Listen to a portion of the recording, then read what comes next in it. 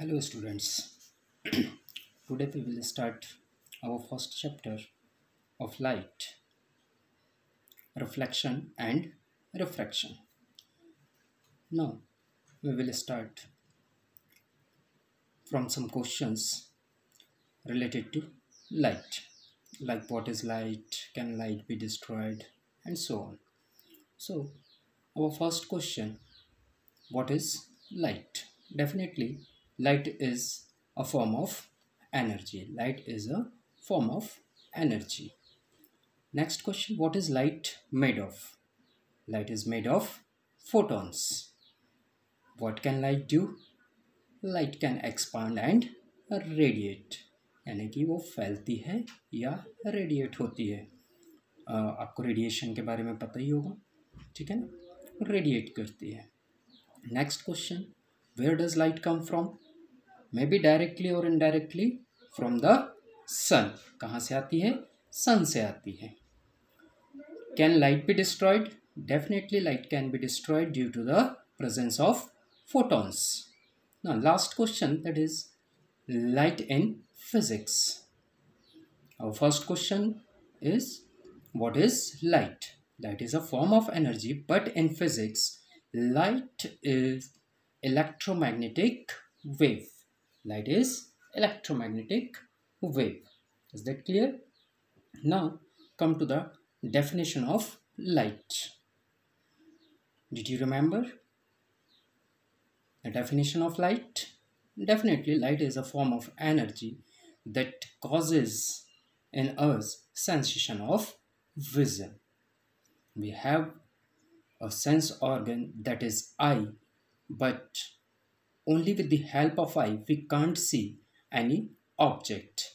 We need the source of light to see any object. That's why light is very important for us in our daily life to see any object. So this is the definition of light. If there is light and light is a form of energy. That means there are some sources of light also. So come to the sources of light. There are two types of sources of light. First one is natural sources and second one is man-made sources. The examples of natural sources are sun lightning twinkling of stars. These are the examples of natural sources. What about man-made sources? Definitely lamp torch candle are the examples of man-made sources. These are the sources of light uh, maybe natural or man-made. All these sources are also called luminous object. So now come to the luminous object and non-luminous object what are luminous objects? those objects which emits their own light those objects which emits their own light are called luminous object and those objects which does not emit their own light are called non-luminous objects. In these pictures, there are some examples or some objects.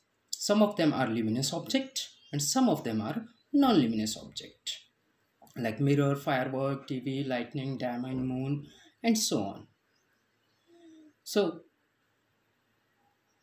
we select some luminous object and some of them non-luminous object.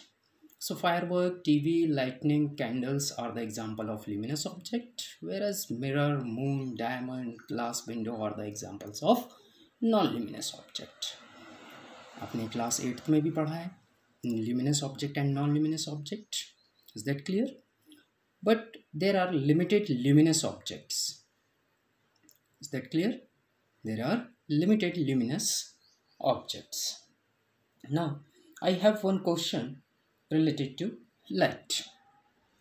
If light expand or radiate, तो क्या radiate होने के लिए light को किसी medium की ज़रूरत होगी so question for you that is does light need a medium to travel क्या लाइट को ट्रैवल करने के लिए किसी मीडियम की ज़रूरत पड़ती है first of all what is medium medium is material may be solid liquid और gas may be solid liquid और gas like sound needs some material sound needs some material for traveling. But light what about light? Light does not need any medium to travel. Light does not need a medium to travel due to the electromagnetic wave due to the electromagnetic wave is that clear light को किसी भी medium की ज़रूरत नहीं होती है due to the electromagnetic wave the speed of light the speed of light is much higher than the speed of sound that means light does not need any medium that means it travels in vacuum also light vacuum में भी travel कर सकती है and the speed of light in vacuum or in air is 3 into 10 raised to the power 8 meter per second the speed of light in different medium are different is that clear the speed of light in uh, solids uh, about to be 2.25 into 10 raised to the power 8 meter per second and in liquid uh, 2 into 10 raised to the power 8 meter per second. That clear? If light is energy that means it also having their nature. Now come to the nature of light. Nature of light. There are two theories about the nature of light. There are two theories about nature of light. First one is wave theory and second one is particle theory first one is wave theory second one is particle theory in wave theory consist of electromagnetic wave wave theory में electromagnetic waves की हम बात करते हैं but in particle theory हम particle से related बात करते हैं या हम पार्टिकल थ्योरी को एक्सप्लेन कर सकते हैं। These two theory having some phenomena. In wave theory, there are three phenomena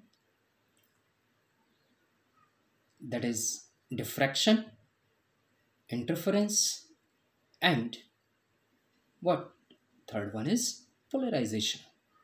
All these three phenomena explained only with wave theory. Can you see first picture. This is the diffraction of light. जिसे हम explain कर सकते हैं with the help of wave theory with the help of wave theory देख रहे हैं यहाँ पर एक सिंगल वाइट लाइट आ रही है और ये एक्सपांड होती है और इसकी वेव लेंथ में चेंज आ जाता है। इंटरफेरेंस किसी चीज़ की दखल अंदाजी करना। ठीक है? यहाँ पर भी हम देख रहे हैं, एक हॉरिजॉन्टल वेव बन रही है, एक वर्टिकल वेव बन रही है और इसे हम क्या कर रहे हैं पोलराइज्ड कर रहे हैं and this polarisation is explain with the help of wave theory इन तीनों ही फिनोमिना को हम कैसे याद रख सकते हैं? I think everyone dip the biscuit in milk और tea dip D I P D for diffraction, I for interference, and P for polarization. Now come to the phenomena which explained with the help of particle theory. And I think you know about this phenomena that is casting of shadow, a reflection of light, and refraction of light. All these three phenomena explained with the help of particle theory. I think you know about casting of shadow, parchai.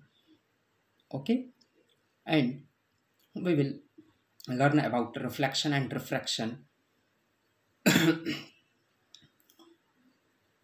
So these are the phenomena related to wave theory and particle theory. Is there any other theory? Other than these two theories? Definitely. Third theory that is modern theory or also called dual theory about the nature of light. And the name of this dual theory or modern theory is quantum theory of light. This is the third theory of light or the third theory about the nature of light. That is quantum theory of light. Okay. Now come to the ray and beam okay what is ray you know ray of light this is the example uh, आप लोगों ने maths में देखा ही होगा line segment line रे just like this रे this is the ray of light uh, and uh, uh, this is the beam of light what is beam of light collection or group of rays is that clear जहाँ पर हम collection लेते हैं, किसी raise का या एक group की बात करते हैं हम रेज की this is the beam of light there are some types of beam of light so if you consider this point if you consider this point and the rays comes together at that point and this is the second example of beam of light where uh, the rays of light spread out from the point and this is the third example of beam of light uh, क्या आप uh, इनके नाम बता सकते हैं हाँ definitely I think you have uh, one name and this is the third one uh, type of beam that is parallel beam that is parallel beam. Is that clear? I know. You all know about the name of this third type of beam that is parallel beam. What about first and second types of beam? Here in first type in first type all the rays comes together at a point. That means this beam of light this beam of light is called convergent convergent beam of light. What about second? Here all the rays are spread out from that point. So this is called divergent beam. Is that clear? There are three types of beam. That is convergent beam divergent beam and parallel beam.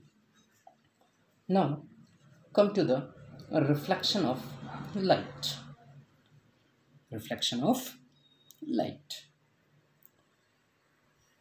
what is reflection of light what is reflection of light so the process of sending back the process of sending back the light rays which fall on the surface of an object is called reflection of light एक ऐसी process जहाँ से रे of light क्या करती है?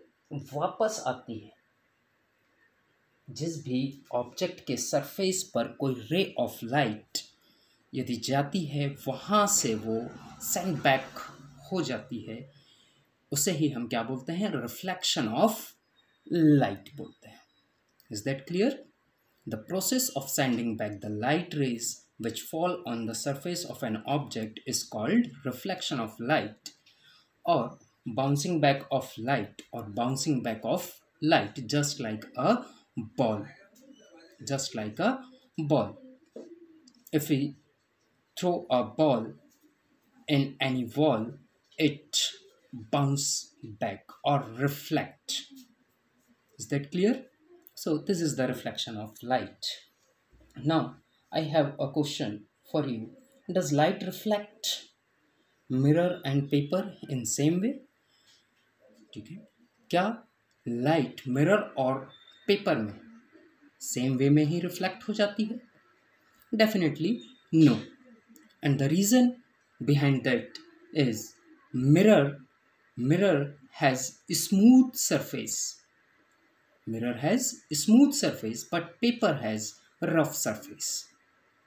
So, in mirror or in smooth surface, beam of light remains parallel after reflection. जब ये रेज आती हैं और इसके सरफेस पर टकराती है after reflection the beam of the beam of light remains parallel इस पिक्चर में दिख रहा है आपको। यहाँ पर ये जो लाइंस हैं वो अभी भी पैरल ही है after reflection But what about in paper? Paper has rough surface or irregular or scattered or diffused. That means the beam of light after reflection is scattered or irregular. Beam of light does not remains parallel in rough surface. So the answer of this question is no due to the surface. In mirror, smooth surface but paper has a rough surface. That means light does not reflects from mirror and paper in same way यानी कि किसी भी uneven surface की बात करें या rough surface की बात करें तो वहाँ से लाइट कभी भी या बीम ऑफ़ लाइट हमें कभी भी आफ्टर रिफ्लेक्शन पैरेलल नहीं मिलती है is that clear okay now come to the laws of reflection reflect होती है दैट मीन्स उसके कुछ ना कुछ लॉज भी होंगे, उन लॉज को फॉलो करेगी वो, और कुछ ना कुछ हर चीज़ के रूल्स होते हैं। Is that clear so there are two laws of reflection of light first law of reflection the incident ray the reflected ray and the normal at the point of incidence, all lie in the same plane.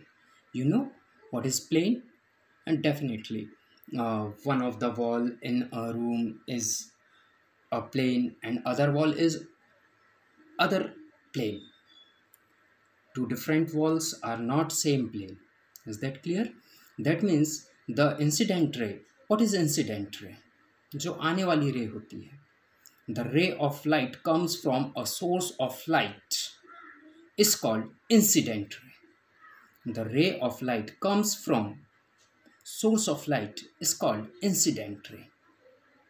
And this ray falls on the surface of this ray falls on the surface of object and it sent back. This ray is called reflected ray. What about normal? At the point of incidence? This normal is also called principal axis which is perpendicular to the surface of object. This normal is also called principal axis and this is perpendicular to the surface of object. And all these three that means incident ray, reflected ray and normal lie in the same plane. What about second law of reflection? The angle of incidence is always equal to the angle of reflection. And what about incidence angle and reflection angle or reflected angle? The angle between the angle between incident ray and normal is called angle of incidence and the angle between reflected ray and normal is called angle of reflection. Now look at the picture. If we take a plain glass, if we take a flat glass and paint it at back side of the plain glass it will convert into a mirror. जब हम एक plane glass लेते हैं उसके पीछे एक silver paint कर देते हैं और एक रेड पेंट कर देते हैं तो वो एक मिरर में कन्वर्ट हो जाता है। Is that clear now this is the incident ray comes from a source of light and it falls on the surface of this plane mirror or flat mirror. It will reflect it will reflect. And what about normal or principal axis? This is the principal axis which is perpendicular which is perpendicular to the flat mirror which is perpendicular to the flat mirror. As we know the angle between this incidence ray the angle between this incidence ray and normal is called angle of incidence which is denoted by i small i which is denoted by small i. And second angle that is the angle of reflection the angle between reflected ray the angle between reflected ray and normal is called angle of reflection which is denoted by angle r so according to second law of reflection angle i is always equal to angle r these two laws these two laws follow in the reflection of light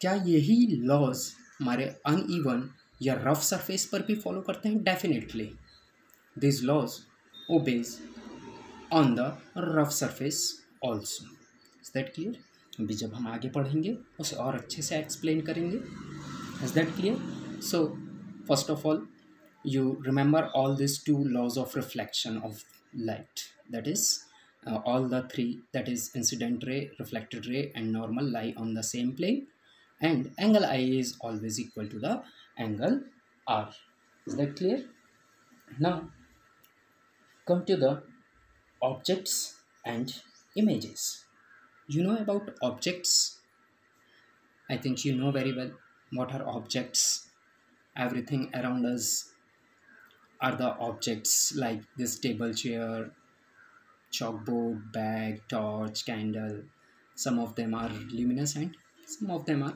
non-luminous gives out light rays है ना अब यहाँ पर table chair तो अपनी light देंगे नहीं but they reflect the light that's why these all are objects what about image okay images are optical appearance is that clear images are optical appearance images क्या है optical appearance है there are two types of images first one is real image and second one is virtual image okay जो image हमें screen में दिखती है ठीक है ना? जब हम थिएटर में मूवी देखते हैं, उस स्क्रीन में जो हमें इमेजेस दिखती है this is the example of real image और जो इमेज हम मिरर में देखते हैं, वो हमारी कौन सी इमेज होती है? वर्चुअल इमेज होती है। ठीक है ना? तो मिरर में जो हम देखते हैं, वो रियल वर्ल्ड में नहीं होती है। Is that clear it is the back side of the mirror is that clear इसे हम आगे और अच्छे से एक्सप्लेन करेंगे। Is that clear now next आप लोगों के लिए एक वर्क है। आप घर पर मिरर के सामने खड़े होकर अपने डिस्टेंस को, अपनी पोजीशन को चेंज कर कर अपनी इमेज को देखेंगे okay and after that you take spoon और अ शाइनी स्पून और उसके आगे और पीछे अपनी इमेज को देखने की कोशिश करेंगे। हमारा चेहरा बहुत बड़ा है, इसलिए शायद उस छोटे स्पून में बहुत अच्छे से क्लियरिटी ना आए। तो आप एक कोई छोटा ऑब्जेक्ट या पेन की टिप या पेंसिल की टिप को एक बार ज़रूर देखने की कोशिश करें। कैसी इमेज आपको दिखती है? इज़ दैट क्लियर और नेक्स्ट वीडियो में हम फिर वापस से इन्हीं टॉपिक्स पर बात करने वाले हैं। तो इसे आप बहुत अच्छे से रीड कर कर और नेक्स्ट टॉपिक के लिए जो मैंने बताया है प्लेन मिरर्स और स्फेरिकल मिरर्स के बारे में हम बात करने वाले हैं, जिसका एग्जांपल मैंने आपको बोला है कि स्पून में आप इमेजेस को देखने की कोशिश करेंगे। कि किस टाइप की इमेजेस उसमें बनती है। Is that clear okay thank you